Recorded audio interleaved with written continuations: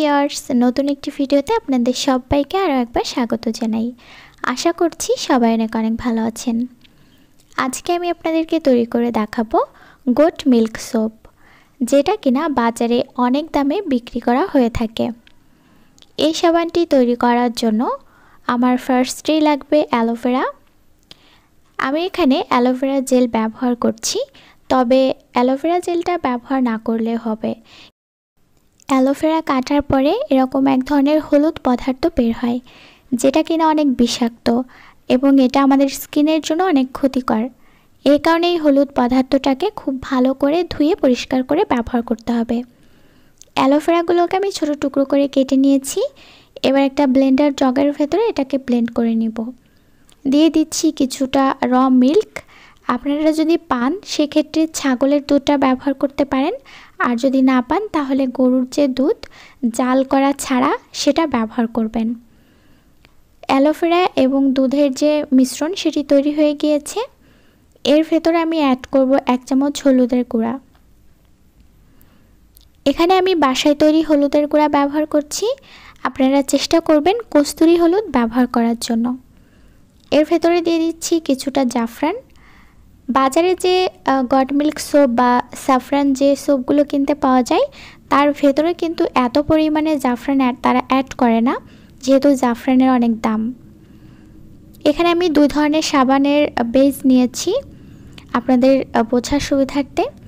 স্বচ্ছ যে বেসটা দেখতে পাচ্ছেন, এটা মূলত সাধারণ যে সোপ বেস সেটি, গ্লিসারিন যে সোপ বেস সেটি, আর সাদা রঙের যে বেসটি দেখতে পাচ্ছেন, এটাই মূলত গট মিল্ক সোপ বেস আজকে আমি আপনাদেরকে যেহেতু গট মিল্ক সোপ বেস দিয়ে সাবান তৈরি করে দেখাবো, সেই কারণে আমার এখানে এই বেসটি লাগবে।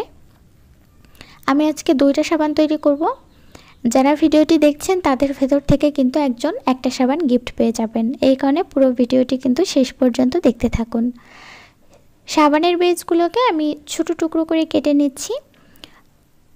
গট মিল্ক সোপ বেসটা সাধারণত একটু নরম হয় গ্লিসারিন সোপ বেসের থেকে।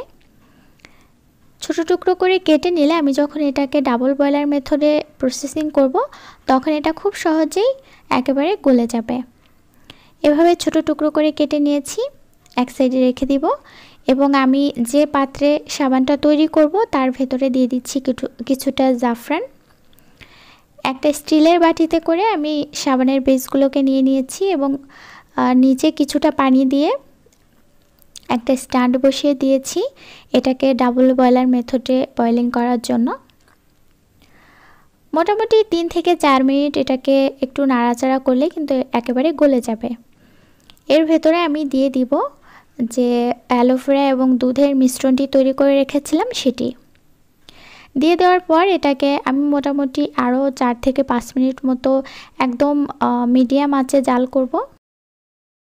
জাল করার পরে এটাকে নামিয়ে সাথে সাথেই কিন্তু যে পাত্রে সাবানটা তৈরি করতে হবে, সেই পাত্রে ঢেলে নিতে হবে। আমি যেটুকু বেজ নিয়েছিলাম, তাতে মোটামুটি দুইটা সাবান তৈরি হয়ে গিয়েছে।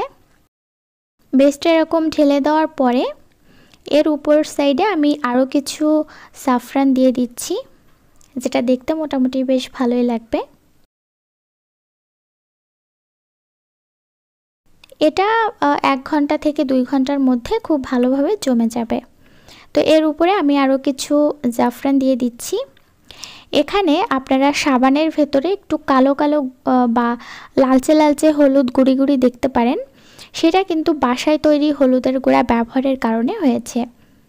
আপনারা বাজারে যে হলুদ কিনতে পাওয়া যায়, সেটা দেখবেন যে একেবারে কি বলব মডিফাই করার কারণে তার ভেতরে হলুদ ছাড়া আর কোনো কিছুই আপনারা পাবেন না। তো এই সাবানটাকে আমি সারা রাত রেখে দিয়েছিলাম এবং নর্মাল ফ্রিজে রেখে দিয়েছিলাম এক থেকে দুই ঘণ্টার মতো। তারপর বের করে নিয়েছি।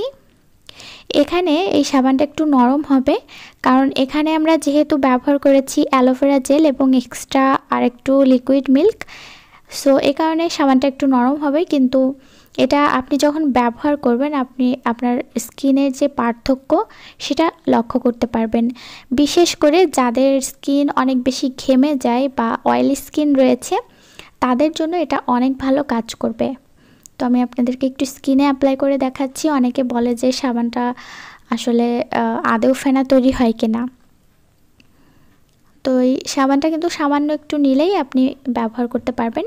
এটা চাইলে আপনি আপনার পুরো শরীরে ব্যবহার করতে পারেন। মুখে তো ব্যবহার করতেই পারেন ফেস ওয়াশের পরিবর্তে। তবে যেহেতু এটা তৈরি করতে গেলে একটু খরচ বেশি হয়, আমরা স্কিনে ব্যবহার করতে গেলে সেক্ষেত্রে এটা বেশি দিন যাবে না। এই কারণে আমরা এটা ফেসে ব্যবহার করতে পারি। তো আপনি এটা ব্যবহার করার কিছুক্ষণের ভেতর কিন্তু পার্থক্যটা লক্ষ্য করতে পারবেন যে স্কিনটা কতটা ব্রাইট করতে সাহায্য করে।